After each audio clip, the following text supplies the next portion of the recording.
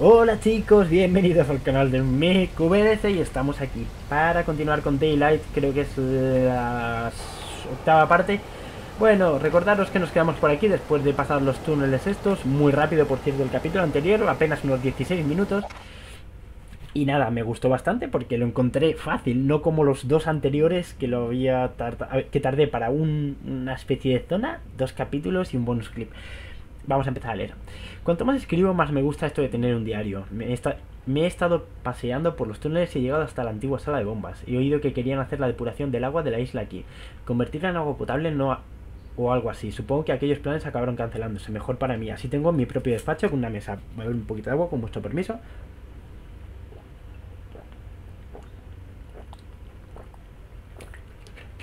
Tengo la garganta seca.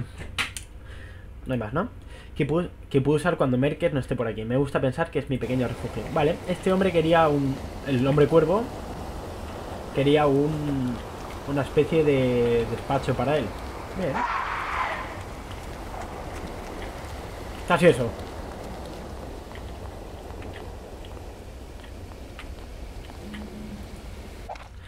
Mercer me ha dicho que yo no puedo usar mi despacho que ya no puedo usar mi despacho. Dice que tengo demasiado trabajo como para estar bajando aquí siempre que quiera. He intentado explicarle que necesito venir de vez en cuando, que estar aquí me ayuda a lidiar mejor con el estrés, pero le, ha dado igual.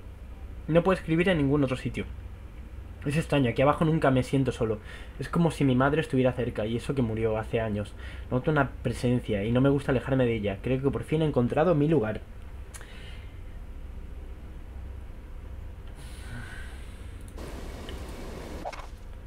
Y aquí el hombre cuervo solitario, seguramente.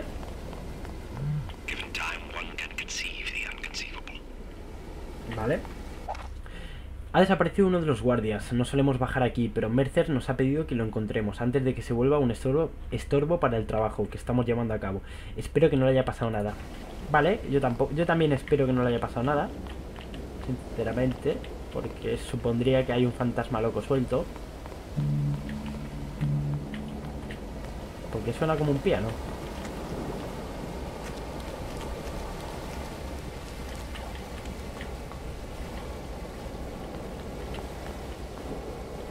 Uh, cuántas, cuántas cartas, ¿no? Fecha 13 de octubre del 32. Asunto restablecer la electricidad del puente. El otro día casi se estropea el puente debido a las fuertes lluvias. Se recuerda que cuando haya líquidos adicionales circulando por aquí, se debe levantar el puente. Es la única salida que hay. Si se vuelve a producir un corte de electricidad, después se debe restablecer la electricidad para que el puente funcione. Lógico. Todo el personal de la sala de bombas debe conocer el procedimiento para evitar que alguien pierda el ferry y se quede sin poder salir de la isla. Vale, estamos en una isla. Poco a poco me voy enterando de más, pero muy poco a poco. Lo hemos encontrado, sabíamos que estaba cabreado por cómo lo tratábamos, lo trataban los otros guardias, pero los doctores no habían dicho que, escribir un diario le estaba ayudando. Lo he leído en busca de una nota de suicidio, pero su última entrada no tiene ningún sentido. La he transcrito para verla con más claridad y se la vamos a hacer llegar a la policía por si contiene algún mensaje oculto. 13, 13, 13, 13, 13, 13, 13, 13, 13, 13, 13, 13, 13, 13, 13, 13. Vale, 13, pues 13. Doctor, he hecho lo que me pediste. El historial médico de la paciente 13 ha sido destruido. Además, hemos quemado su ropa, sus pertenencias y todo lo que creo creó en el horno de, las alcantarillas. ¿Cómo sabías que había un horno ahí abajo? No parece que nadie haya puesto un pie en esos túneles desde hace décadas.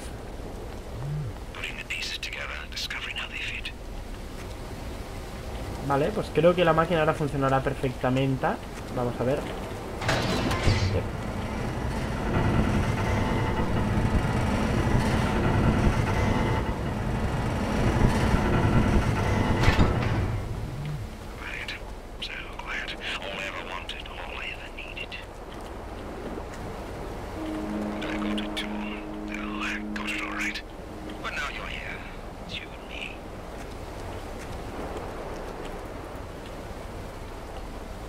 La salida está ahí, chica. ¿Qué análisis hay que hacer? A ver.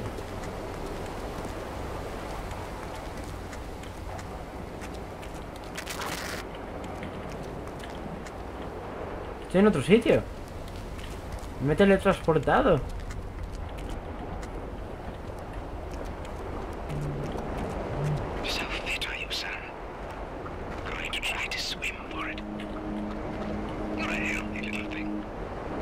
A nadar. Por ahí, ¿no?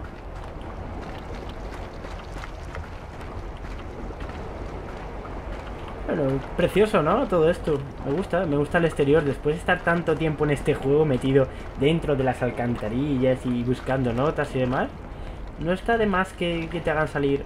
¿Tendré que girar esto?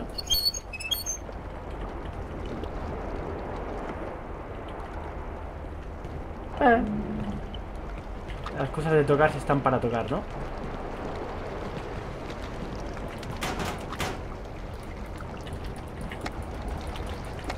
Vale, si me dan de esto no me gusta un pelo porque indica que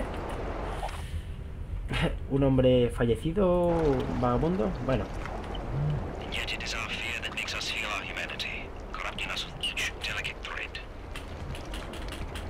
Ha dicho que podía escalar por aquí.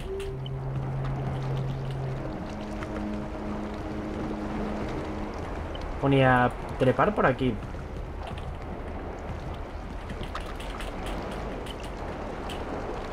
Y ahí está la civilización, por fin. No puedo tirarme, no puedo hacer nada. Tendré que volver. Aunque parece que por ahí hay camino.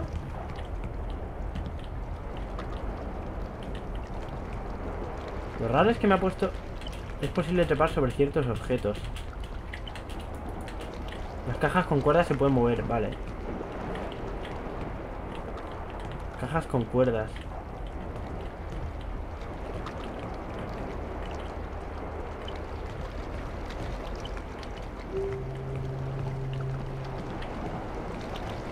No entiendo.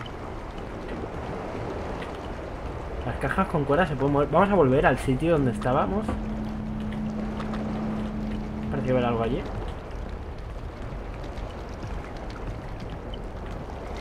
Sí.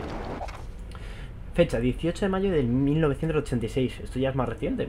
Muerte de un empleado en la zona propuesta de construcción. Varios operarios se encontraban estudiando el bosque en busca de emplazamientos adecuados cuando afirman haber escuchado escuchado el llanto de una mujer a lo lejos. Han corrido a ver qué pasaba, pero una espesa niebla les impedía ver bien. Y como consecuencia de ello, un operario se ha caído a un pozo. Vale. Como no tengo ni idea de si es por ahí o no, vamos a volver. Vamos a ir por...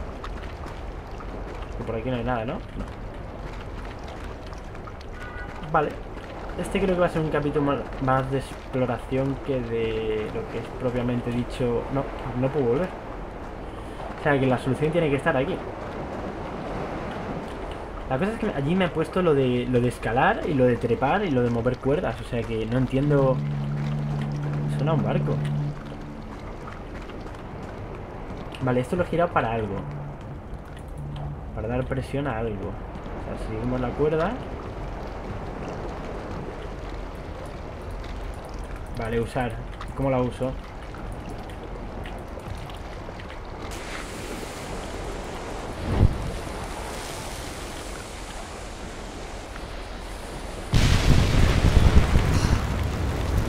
Lógica.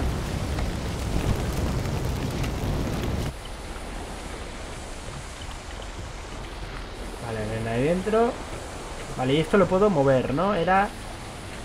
No, trepar, no. Quiero empujarlo. Mira, una carta. 19 eh, de mayo del 86, acerca de Jason Bertelli. Se cree que el operario ha sobrevivido a la caída, pero que ha fallecido después como consecuencia de las lesiones sufridas. Inexplicablemente, el operario había perdido los dos ojos, aunque algunos dicen que es posible que pase algo así durante una caída tan grave. Los doctores querían realizar una autopsia, pero hemos dictaminado que se trata de un accidente para poder proseguir con las obras. Me interesa. A ver. Vale. Vale, pues nada, a trepar. Para arriba, chicos. Vamos a ver qué nos depara... Es muy específico donde tienes que darle para trepar. No me gusta eso. Y además que tarda mucho en subir... No sé si es una patosa esta chica o qué. Tengo que tirarme, ¿no? Vale. Fecha, 26 de mayo del 86. eh, sucesos inexplicables en el emplazamiento de las obras. Hemos recibido numerosas quejas por parte de los obreros, que afirman haber presenciado cosas extrañas. Cuando se les pide que den más detalles, hablan de haber visto figuras por el rabillo del ojo, pero que cuando se giran no hay nadie.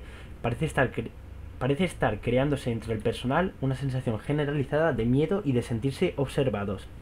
El mayor número de quejas se ha producido durante el turno de noche, que recoge incluso el testimonio de trabajadores que afirman haber visto a gente en la zona de construcción. Bueno. Gran incendio en una embarcación.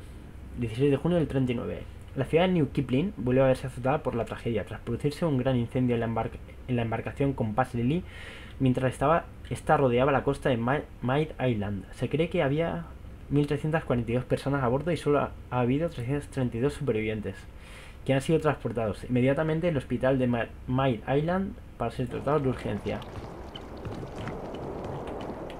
Vale, de acuerdo. Joder, cuántas cartas, ¿no? Grave incendio en la, según investigación... A grave incendio en una embarcación, 16 de junio del 39. Según la investigación oficial, el accidente se produjo a raíz de un fallo en la sala de máquina. También, también, se ha descubierto que no se siguieron todos los procedimientos de seguridad y algunas fuentes acusan al maquinista naval jefe de tener problemas psicológicos. La compañía propietaria del Compass Lily ha emitido un comunicado en el que lamenta el incidente y se compromete a utilizar los procedimientos de seguridad más avanzados en adelante. Parece todo correcto. Y dicho esto, vamos a continuar por aquí, a ver si hubiera algo, he visto algo por ahí. Vale. Y este es el, es el incendio, ¿no? El, de la fábrica.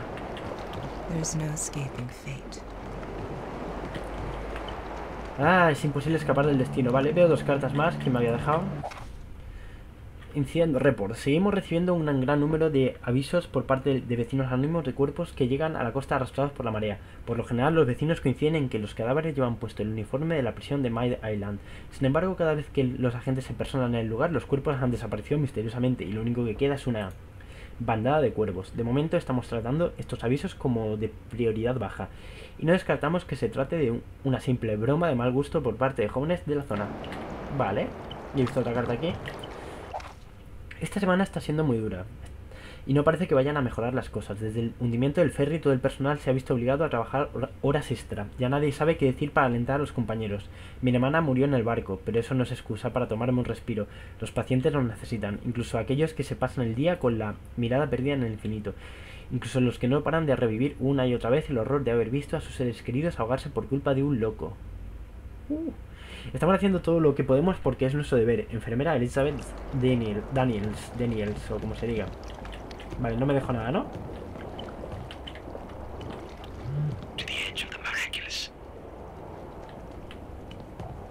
Está a punto de producirse el milagro. Me, me, no me convence, ¿eh? La verdad. No puedo trepar, ¿no? Seguro que no me dejo nada. Que no sé si eso es el final o qué. Pero bueno, a ver. Vale, nada. Pues nada, vamos a seguir por ahí a ver qué pasa. Estoy impaciente de ver quién es el paciente número 13. Vale, creo que me habrán tapeado, evidentemente, en la espalda. Vale. Como guardamos aquí y el capítulo lleva 14 minutos. Vamos a dejarlo por aquí porque creo que lo siguiente ya es el final o estamos muy cerca. Entonces no quiero juntar dos partes, ¿vale? Más que nada por el tiempo de renderizado y el tiempo de subida, a YouTube es lo, de, es lo de menos, pero básicamente el renderizado cuesta mucho y entonces tengo que renderizar muchos vídeos, no solo Daylight. Eh, dicho esto, espero que os esté gustando. Este ha sido un capítulo básicamente de exploración eh, el anterior fue un poquito más movido y espero que os guste. Ahora nos encontramos en un bosque rodeado de hermosos árboles que invitan a, pasar una, tarde eh, veraniega bajo, bajo ellos. Pero bueno, a ver qué tal se nos da. Eh, dicho esto, espero que os esté gustando el juego tanto como a mí y un saludo. Hasta la próxima, chavales.